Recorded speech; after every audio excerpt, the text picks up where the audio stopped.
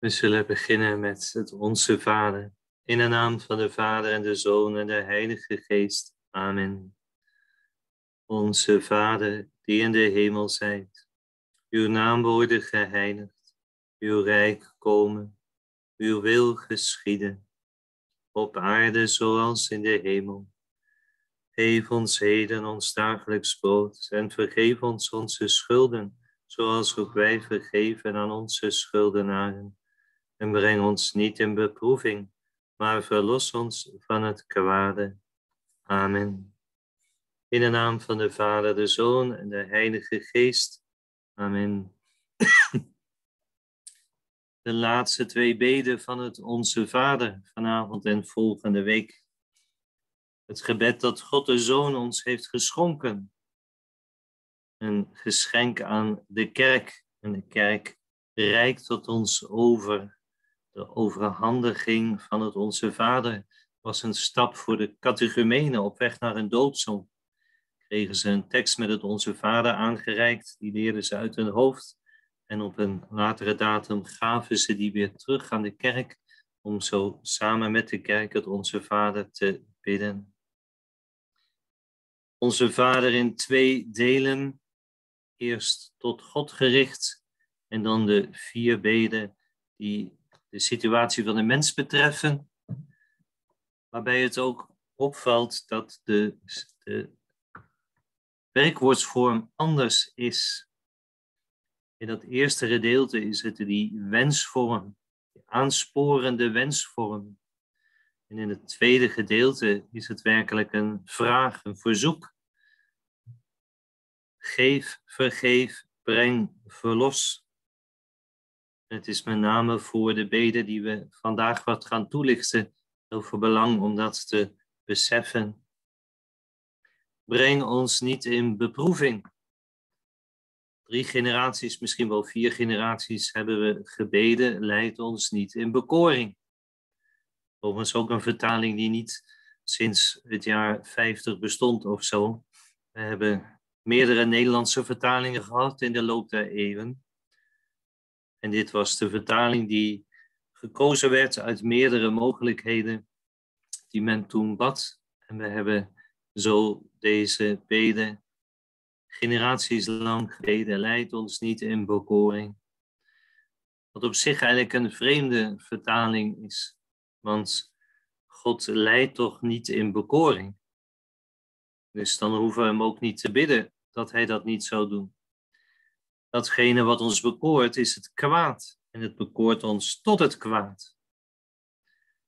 Dus dat we dit toch al die generaties gebeden hebben, betekent dat we ongemerkt deze beden hebben begrepen als help ons tegen de bekoring.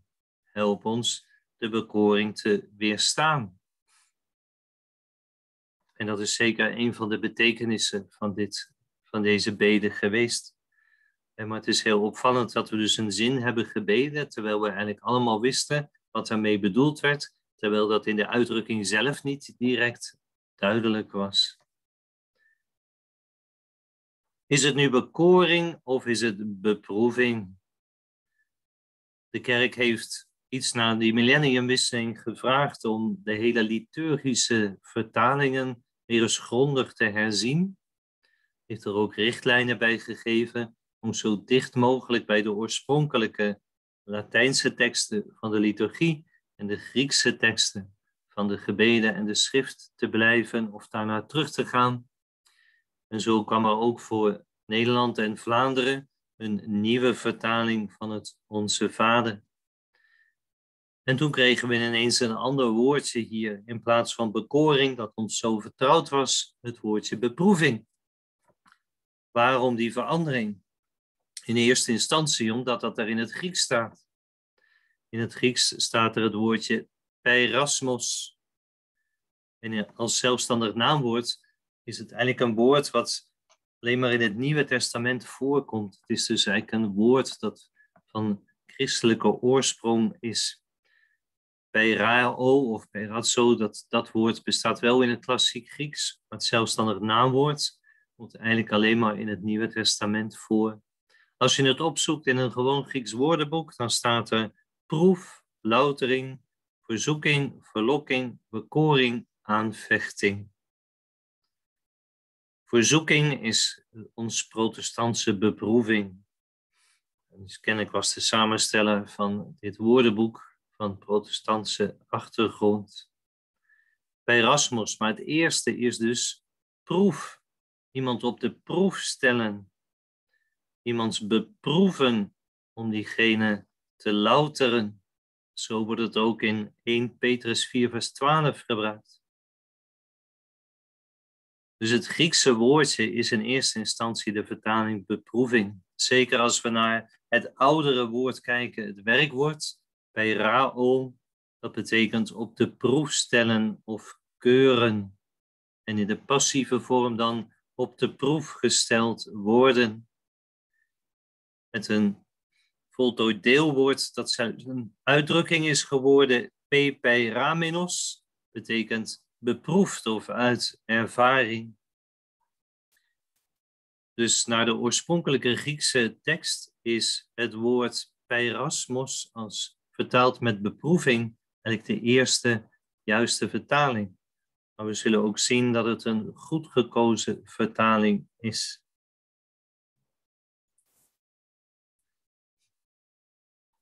Want het woordje beproeving, ook in ons Nederlandse taal, is ruimer dan bekoring.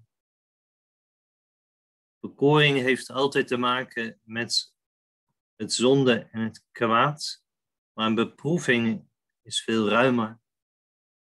Want ook God beproeft de mensen. Natuurlijk, het kwaad en de zonde beproeft mensen en dan noemen we het de bekoring. Ook het leven beproeft ons en ook het geloofsleven beproeft ons. Nu, als we de vertaling beproeving dus aannemen, dan hebben we dat hele scala in dat woordje perasmos weergegeven. Als we alleen maar bekoring zouden handhaven, zouden we alleen het middelste hiervan aanhouden. Maar het woord is in het Grieks ruimer. Jezus heeft het ruimer bedoeld. Spreekt echt van het begrip beproeving beproeving die van God kan komen, de beproeving door de zonde, door het kwaad, wat we bekoring noemen, en de beproeving door het leven of door het geloofsleven. We zullen deze drie even langslopen. Beproefd door God. God beproeft de mens. Dat begon al bij Abraham, het staat daar uitdrukkelijk. En we zien ook Jezus zijn leerlingen beproeven Johannes 6, vers 6. Jezus deed dat om zijn leerlingen op de proef te stellen. God beproeft de mens dus. Maar natuurlijk niet om hem ten val te brengen, maar om de mens te zuiveren. En goed, God beproeft nooit tot het kwade. Want als dat gebeurt, een beproeving ten kwade, is de bekoring. En God beproeft ons nooit boven onze macht. Maar God gebruikt het om ons geloof te sterken. Thomas van Aquino in zijn commentaar op het Onze Vader schrijft daar uitvoerig over. Een mens wordt op de proef gesteld, zegt hij, om te zien of hij spontaan het goede doet. Wanneer je dan merkt dat je spontaan het goede doet, dan is je deugdzaamheid groot. En op deze wijze wordt de mens soms door God op de proef gesteld. Niet omdat God iemands deugdzaamheid niet zou kennen, maar opdat iedereen deze zal leren kennen en iedereen tot voorbeeld wordt. Zo heeft God Abraham en Job op de proef gesteld. Daarom stuurt God dikwijls beproevingen aan de rechtvaardigen. Want wanneer zij deze geduldig verdragen, kan hun deugdzaamheid aan de dag treden en kunnen zij hierin groeien. In Deuteronomium 13, vers 4 staat immers: De Heer jullie God beproeft jullie, opdat openbaard wordt of jullie Hem liefhebben of niet. Op deze manier stelt God dus op de proef, doordat hij tot het goede oproept. Dus Thomas van Aquino geeft eigenlijk nog een andere reden daarbij, dat de deugdzaamheid van de mensen zichtbaar kan worden of kan groeien, tot voorbeeld kan zijn voor anderen. Beproefd door het kwaad en de zonde, en dat is dan dat begrip bekoring. En opnieuw zegt Thomas van Aquino, die bekoring kan komen door de wereld, en dat is dan de negatieve betekenis van dat woord, door de duivel of door het vlees, de zwakke mens. Jacobus schrijft daarover. Zalig de mens die stand houdt in de beproeving. Heeft hij de toets doorstaan, dan zal hij de zegenkrans van het leven ontvangen, die God beloofd heeft aan wie hem liefhebben. Niemand mag zeggen als hij bekoord wordt, ik word door Gods toedoen bekoord. God brengt niemand in verzoeking, zo min als hij zelf door het kwade kan worden bekoord. Wordt iemand bekoord, dan is het altijd door het trekken en lokken van zijn eigen begeerte. Dus hier gaat het over een vorm van beproefd worden, namelijk door het trekken en lokken van zijn eigen begeerte, door het vlees, door de wereld of daardoorheen door de duivel. En dan is het niet God die iemand in deze bekoring of deze verzoeking brengt. Net zo min als hij zelf hierdoor bekoord kan worden. Dus niemand kan zeggen als hij bekoord wordt, ik word door Gods toedoen bekoord. Vandaar dat die eerste vertaling leidt ons niet in bekoring, eigenlijk altijd een beetje vreemd geweest is. Want hier staat duidelijk, God leidt niemand in bekoring. Maar als we het ruimere woord hernemen, beproeving, dan wordt het meer duidelijk. Beproeving kan van God komen. De beproeving kan door het kwaad en de zonde komen. Dan noemen wij het bekoring. Of ten derde, kan ook door het leven komen. Het leven kan de mens beproeven. Het lijden kan de mens beproeven. Iemands geloofsweg kan beproefd worden de donkere nacht, voor zover die dan uit de situatie van de mens voorkomt, is een beproeving. En je zou meer van dit soort elementen kunnen noemen. Het zijn beproevingen die ook door anderen trouwens kunnen komen, kunnen ook door anderen beproefd worden. Iemands geduld kan op de proef gesteld worden door iemand. Dit is dan de beproeving die niet door God zelf, van God zelf komt. Die komt ook niet van het kwaad of van de duivel, maar komt uit deze aspecten van het leven voort. Maar ze worden wel door God toegelaten, opdat we kunnen groeien in het geloof, zoals ook de bekoringen worden toegelaten, opdat we die met Gods hulp kunnen weerstaan. Paus Benedictus citeert in zijn deel 1 Jezus van Nazareth, waar hij een uitvoerig commentaar op het Onze Vader geeft, Cyprianus. En die tekst gaat als volgt. Ik weet dat ik beproevingen nodig heb om gezuiverd te worden.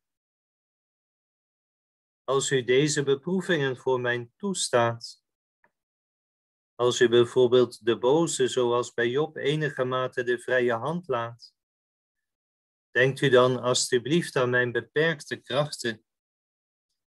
Verlang niet te veel van mij. Trek de grenzen waarbinnen ik, waarbinnen ik beproefd mag worden niet te ruim. En blijf bij mij met de bescherming van uw hand, wanneer het te veel voor mij wordt. Dat is een mooie tekst van Cyprianus die Paus Benedictus hier citeert. De bede dat als God het toelaat, dat hij wel over ons blijft waken. Jezus zelf werd beproefd. In Matthäus 4, vers 1 staat een Griekse zinswending, waaruit blijkt dat de Heilige Geest hem de woestijn instuurt om beproefd te worden door de duivel. Een beweging van de Vader uit langs de Zoon naar, langs de Geest naar de Zoon toe. De Hebreeënbrief schrijft hier indringend over. Omdat hij zelf de proef van het lijden doorstaan heeft, kan hij alle helpen die beproefd worden. Want wij hebben een hoge priester die in staat is mee te voelen met onze zwakheden. Hij werd zelf op allerlei manieren op de proef gesteld, precies zoals wij, afgezien dan van de zonde. Breng ons niet in beproeving, is dus dat we een beroep doen op de Vader, dat Hij ons ook verbindt met de Zoon, die ons kan helpen omdat Hij zelf beproefd werd. De uiterste beproeving van de Heer vond natuurlijk plaats in zijn lijden op het kruis en in de nederzending ter hellen. Zo heeft hij de proef van het lijden doorstaan en daarom kan hij ons helpen. Daarom weten wij dat hij, ook al is hij God de Zoon, toch in staat is mee te voelen met onze zwakheden, omdat ook hij op de proef werd gesteld. Als Jezus deze bede formuleert, breng ons niet in beproeving, dan biedt hij in feite daardoorheen ook zichzelf aan Uiteraard later als de gekruisigde en de verrezen Heer, als de Heer die aanwezig is in de kerk, tot steun, tot hulp daarbij.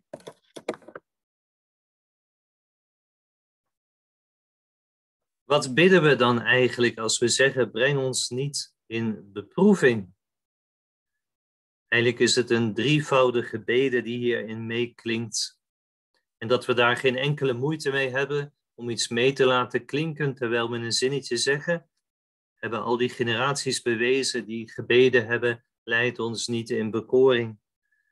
Breng ons niet in beproeving, is een bede dat we de Heer vragen. Breng ons ook niet in beproeving, houd u ons van beproevingen vrij, want we zijn maar zwak. Tegelijkertijd bidden we, breng ons door die beproevingen heen. Houdt u, geeft u ons kracht dat we stand houden, want we zijn zwak. Zorgt u ervoor dat we niet boven onze macht beproefd worden, want we zijn zwak. Eigenlijk is dit de bede waarin we werkelijk smeken om de genade en de hulp van de Heer breng ons niet in beproeving, want we kunnen ze niet aan zonder uw hulp. En als we toch in de beproeving geplaatst worden, ofwel door God zelf, ofwel de bekoringen van het kwaad, ofwel door het leven, dan vragen we de Heer dat Hij ons daar doorheen draagt. En dan kunnen we onze toevlucht nemen tot de Zoon die zelf de beproevingen heeft ondergaan en zorgt u ervoor dat we niet boven onze macht beproefd worden, want we zijn maar zwak. Dit klinkt allemaal mee in dat eenvoudige zinnetje dat we bidden. Breng ons niet in beproeving. Daarbij, om af te ronden, altijd in gedachten houdend dat Jezus het onze Vader formuleert, zeker dat tweede gedeelte, het hele geschiedenis van de Exodus daarin meeklinkend. De tocht door de woestijn. De vierde bede, geef ons heden ons brood, herinnert aan het manna dat dag voor dag werd gegeven. De vijfde bede, vergeef ons zoals wij vergeven. Het is een volk dat zondigt, dat telkens weer zondigt. Tegen God en onderling, dat moet leren leven vanuit de vergeving. En het is een volk dat zeker door die 40-jarige tocht door de woestijn, beproefd werd. Deuteronomium, Deuteronomium 8, vers 2. Blijf denken aan heel die tocht van 40 jaar die de Heer uw God u in de woestijn heeft laten maken. Hij heeft u toen vernederd en op de proef gesteld om uw gezindheid te leren kennen. Hij wilde zien of ge zijn geboden zoudt onderhouden of niet. Dus ook dit klinkt mee in de wede van het Onze Vader. En zo naderen we uiteindelijk het slot van het Onze Vader. Dat weer een heel andere beden is. Ook dat is nu duidelijker als we bekoring vervangen door beproeving. Als het alleen maar bekoring was, zou dit bijna een soort doublure zijn. Leid ons niet in bekoring, maar verlos ons van het kwade. Zouden we denken dat dat eigenlijk éénzelfde bede is. Maar nu het gaat over beproeving, wordt ook die slotbede uitdrukkelijk een eigenstandig gebed om ons van het kwaad te verlossen. Daar zullen we volgende week naar kijken. En dan hebben we heel kort de verschillende beden van het Onze Vader belicht. En zullen we de week daarna nog wat algemeen over het bidden van het Onze Vader spreken. Overigens, onze paus die prachtige catechese geeft over het gebed, heeft onlangs ook over het belang van het Onze Vader gesproken, om dat vooral met de mond te blijven bidden, als het soms met het hart of met de aandacht moeilijk is. En het mondgebed, dat zo ook zijn waarde heeft, zeker als we het gebed van de Zoon bidden. We zullen dit afsluiten met een kruisteken. Dan hebben we nog enkele minuten tot het bidden van de rozenkrans.